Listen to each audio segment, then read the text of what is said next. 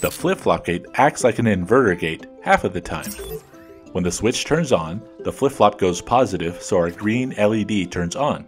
Off doesn't do anything, but when we flip the switch on again, the flip-flop gate goes negative and our circuit lights up red. If we keep flipping the switch, the gate keeps flip-flopping true and false. These advanced machines work with pressure plates too. The positive output happens when we step onto the plate. The flip-flop gate ignores stepping off.